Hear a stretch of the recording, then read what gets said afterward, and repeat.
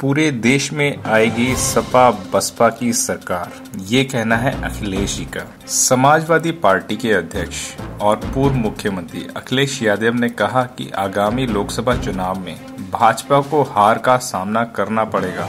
यादव ने कहा कि भाजपा पूरे देश में चौहत्तर सीटों तक सिमट जाएगी। उत्तर प्रदेश के मुख्यमंत्री योगी आदित्यनाथ ने हाल ही में कहा कि भाजपा उत्तर प्रदेश में 80 में से चौहत्तर सीटें जीतेगी। एक टीवी कार्यक्रम के अखिलेश यादव ने इस पर टिप्पणी करते हुए कहा कि भाजपा यूपी नहीं, बल्कि पूरे देश में चौहत्तर सीटें जीतेगी। वहीं अखिलेश ने कहा कि गठबंधन है भाजपा का विकल्प। अखिलेश यादव ने कहा कि आगामी चुनाव में सपा, बसपा का गठबंधन जनता के सामने सबसे बेहतर विकल्प है। साथ ही यादव ने कहा, हमारा तो एक दो दलों का गठबंधन है। भाजपा बताए कि देश भर में उनका कितनी पार्टियों के साथ गठबंधन है। अगर हमारा महामिलावट का गठबंधन है तो उनका कौन सा गठबंधन है? उन्होंने कहा कि अगला प्रधानमंत्री उत्तर प्रदेश से ही होगा। प्रदेश की जनता चाहती है कि वर्तमान सरकार यहाँ से जाए, देश को नया प्रधानमंत्री मिले और उत्तर प्रदेश से बने। वहीं अखिलेश ने तंज कसते हुए कहा कि मैं भी हूँ चौकीदार। यादव ने कहा कि देश का किसान और नौजवान मुश्किल से दौर से गुजर रहा है।